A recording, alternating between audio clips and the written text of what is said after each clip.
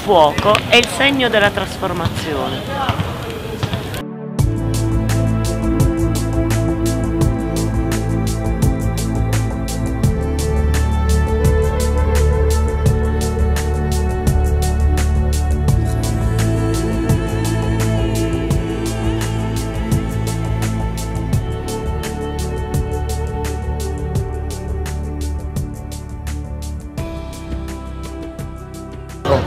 Penso che tre componenti insieme eh, abbiano centrato il successo, quello di valorizzare una tradizione a cui siamo molto legati a Monopoli, farla conoscere fuori, destagionalizzare quindi e mettere insieme tutte le forze associative della nostra città e non solo del centro storico.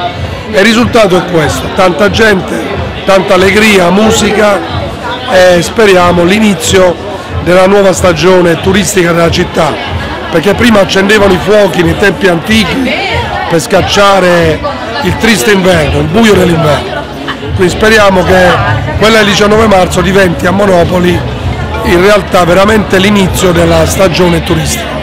Tra l'altro abbiamo azzardato una promozione valida soprattutto sui social network, abbiamo investito risorse notevoli e senz'altro ci hanno anche aiutato quelle che sono le catene di supermercati locali che hanno comunque diviso eh, in tutto il territorio del sud-est barese quelli che sono i depliani programmi e anche per quanto riguarda il locandinaggio. Senz'altro avremo modo anche di ripetere ulteriormente eh, questi eventi che mirano esclusivamente alla destagionalizzazione dei flussi turistici, siamo riusciti a convogliare quella che è una manifestazione prettamente religiosa anche perché insieme ad altre chicche che stiamo allestendo ci stiamo preparando sulla redazione della nuova Via Francigena 2017-2027 che sicuramente in un momento vivace qual è l'indice esponenziale dell'offerta turistica della città di Monopoli non può far altro il bene della nostra comunità. Insomma.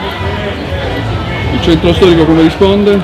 Ah, risponde alla perfezione, non abbiamo avuto nessunissimo tipo di problema a organizzarci, grazie anche ai collaboratori comunali e alle forze dell'ordine siamo riusciti a creare questa bella situazione che tutto sommato va alla grande. Il prossimo invito?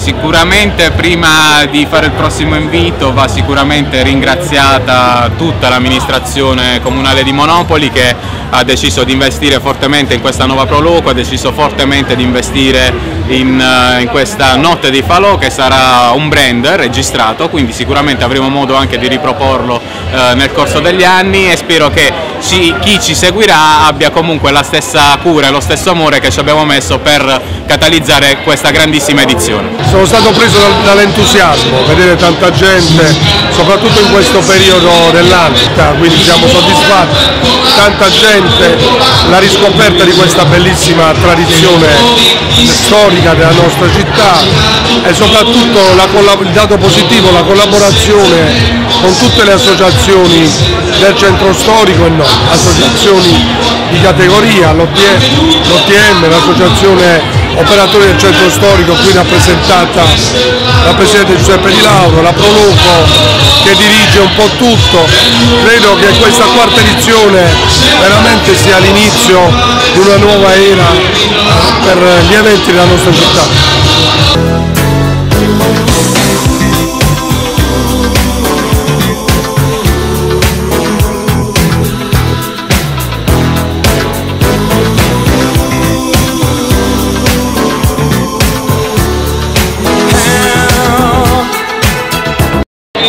Faccio un invito in giapponese?